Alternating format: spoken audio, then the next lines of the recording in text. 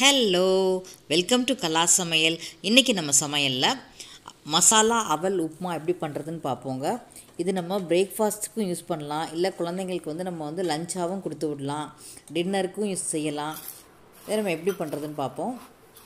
இதுக்கு நான் வந்து கெட்டி அவல் எடுத்துக்கிட்டு இருக்கேங்க நீங்கள் கடையிலலாம் கெட்டி அவல்னு கேட்டிங்கன்னா கிடைக்கும். இது வந்து வெள்ளை கலர்லையும் இருக்கும் சிகப்பு கலர்லாம் இருக்கும். நான் இப்போ வந்து சிகப்பு அவல் எடுத்துக்கிட்டு இருக்கேன் இது நல்லா ரெண்டு மூணு தடவை வாஷ் பண்ணிவிட்டு அப்புறம் இந்த அவலை நம்ம வந்து ஊற வச்சிடணுங்க. கட்டாயம் வாஷ் பண்ணியே யூஸ் பண்ணுங்கள் ஏன்னா கொஞ்சம் அழுக்காக இருக்க மாதிரி இருக்கும் அவல். ஒரு ஸ்மெல் வேறு இருக்கும். அதனால் வந்து இது நல்லா வாஷ் பண்ணிவிட்டு ஒரு ரெண்டு தடவை வாஷ் பண்ணுங்கள் வாஷ் பண்ணிவிட்டு இதை வந்து ஊற வச்சுருங்க. தட்டையவலும் இருக்குங்க. அதை வாங்கிடாதீங்க வாங்கினீங்கன்னா ஊற வச்சிங்கன்னா அப்படியே நல்லா குழஞ்சி போயிடும் அந்த தட்டையவல் வச்சு நம்ம பாயசம் தான் பண்ணலாம்.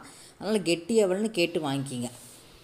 அந்த அவல் மூழ்கிற அளவுக்கு தண்ணி ஊற்றி ஊற வச்சுருங்க. ஒரு இருபது நிமிஷம் கழித்து பார்த்தீங்கன்னா நல்லா ஊறி இருக்கும் இந்த மாதிரி. புளிஞ்சிங்கன்னா கொஞ்சம் தண்ணி தான் வரும். இந்த புழு நல்லா புளிங்க ஒன்றும் கொ குழஞ்சி போயிடாது இதை வந்து நல்லா புளிஞ்சு எடுத்து எடுத்துக்கிடலாம் நம்ம. ஊற வச்ச அவளை நம்ம இப்போ வந்து நல்லா புளிஞ்சு எடுத்துக்கிடுவோம் இப்போ நான் கடாயில் வந்துங்க எண்ணெய் காய வச்சுருக்கேன்.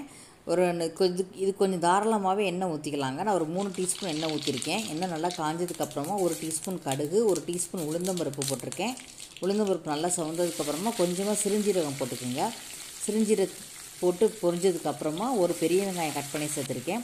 பெரிய வெங்காயம் நல்லா வதக்கிடுங்க ரொம்ப வதங்க வேண்டாங்க. இது கொஞ்சம் க்ரன்ச்சியாக இருந்துச்சுனாலே இந்த உப்புமாக்கு வந்து நல்லா தான் இருக்கும். இப்போ மூணு பச்சை மிளகாய் சேர்த்துருக்கேன். வெங்காயம் பச்சை மிளகாய் எல்லாம் வதங்கினதுக்கப்புறமா ஒரு டீஸ்பூன் மஞ்சள் தூள் சேர்த்துடலாம்.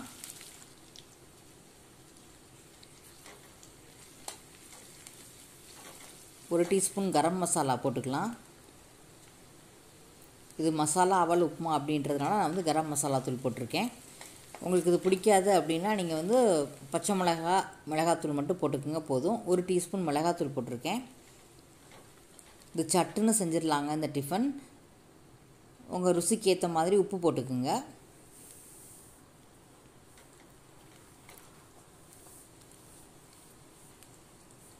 இப்போ நம்ம ஊற வச்சு புளிஞ்சு வச்சுருக்கோம்ல அவல் அதையும் சேர்த்துடலாம்.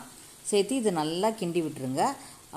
உப்பு மசாலா தூள்லாம் போடுறீங்களா அது வந்து முதல்ல எண்ணெயிலே சேர்த்துருங்க. நீங்கள் அவளை போட்டதுக்கப்புறம் போட்டிங்கன்னா நல்லா சேராது.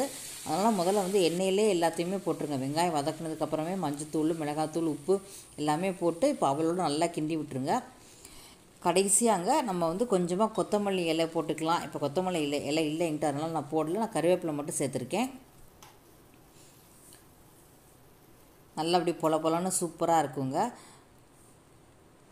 ஒரு அரை மூடி எலுமிச்சம்பழம் மட்டும் புழிஞ்சு ஊற்றிக்கலாம் அவ்வளோதான் சூப்பரான மசாலா அவல் உப்புமா ரெடி ஆகிடுச்சு எல்லோரும் செஞ்சு பாருங்கள் செஞ்சு பார்த்துட்டு எப்படி இருக்குன்னு கமெண்ட்ஸையும் கூட ஷேர் பண்ணுங்கள் பிடிச்சிருந்தா லைக் பண்ணுங்கள் ஷேர் பண்ணுங்கள் சப்ஸ்கிரைப்